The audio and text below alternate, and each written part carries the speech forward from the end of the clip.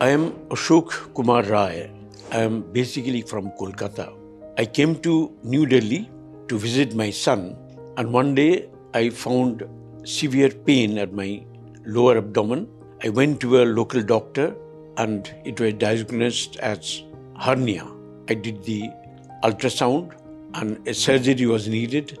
So looking for a doctor. I checked up the website and found Dr. Arun Prasad's name of Apollo. When the patient came to me, he was complaining of a large hernia which was causing great trouble and difficulty and was at a risk of getting complicated with the bowel or the intestine getting stuck and strangulated within. At that time, we also discussed his gallbladder issue as to why this surgery was abandoned in Kolkata. So, hearing this, Dr. Arun Prasad said, not to worry, he will do both the hernia surgery as well as the gallstone together at one go. So, we decided that we will go ahead with both the surgeries at the same time, and we were able to successfully do his abdominal wall repair with hernia. We used an advanced technology which has an AI component, and this is the use of indocyanine green fluorescent dye.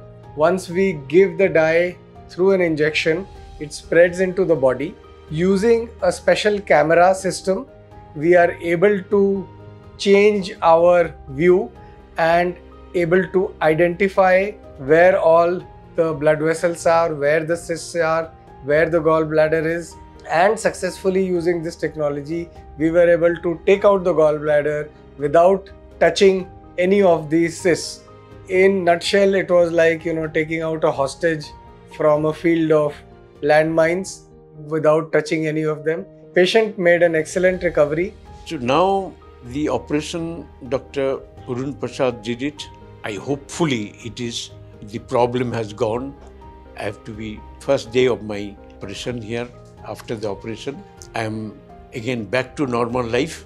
And uh, as far as I feel now, the operation was successful and I am happy. Apollo Hospital, I am very happy with their system, the nursing staff, and the all the arrangements which they have. They are really top class. Dr. Arun Prasad was very nice gentleman. He was very courteous.